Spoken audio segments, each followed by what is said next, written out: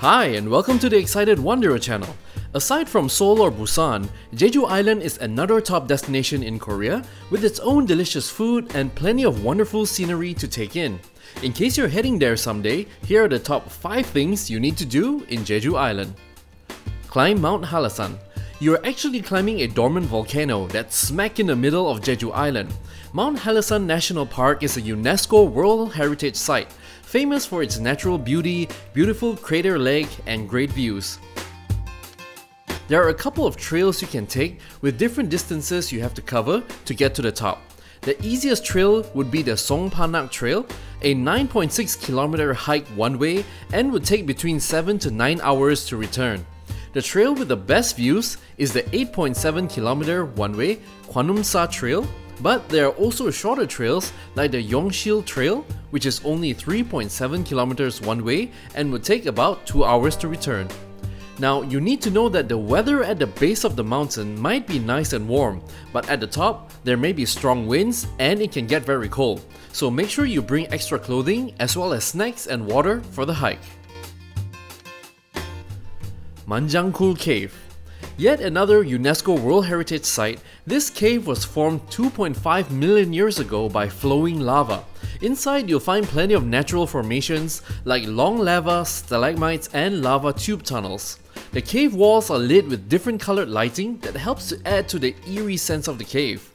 A few words of advice. You might hear some flapping noises because bats do live in the cave. Also, the air inside the cave is colder than the outside, usually between 11 Celsius to 21 degrees Celsius. So, best to bring an extra cardigan or jacket to keep yourself warm. Finally, wear proper shoes, not heels, because the floor can be damp and uneven. The last thing you'd want is to slip and fall and then hurting yourself in a cave.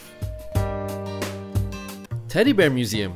This is for people who love quirky things. The Teddy Bear Museum is well known throughout Korea and maybe even the world. There are displays of thousands of teddy bears from all over the world, most of which have been carefully designed and created by hand. The museum is inside the Jungmun Tourist Complex and it is great for kids and adults who love teddy bears. For adults, you will need to pay 10,000 won or about $8.50 US dollars, while kids pay 8,000 won or about $6.70. Loveland. This is a theme park that's focused on the art of making love with displays of sexual and erotic nature. There are about 140 statues of men and women in different stages of nudity, while others are portrayed in various sexual positions. You'd have to be over 18 years of age to enter, but don't worry if you're traveling with kids. There's a recreation area where you can drop them off while you go into the park and explore. This attraction is only 10 minutes away from the airport, so it's a great first or last stop on Jeju Island. It is open from 9am to midnight and has an entrance fee of 12,000 won or 10 US dollars per adult. Jeju Folk Village. If you're a fan of the Korean drama Jewel in the Palace, or you just wanted to see what life was like for the people living on this island in the 1890s, then this attraction is for you.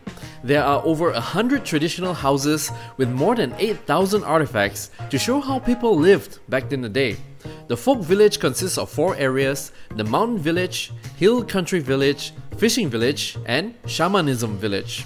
To really immerse yourself in the surroundings, you should consider renting a hanbok or traditional clothing and then take photos in some of the buildings.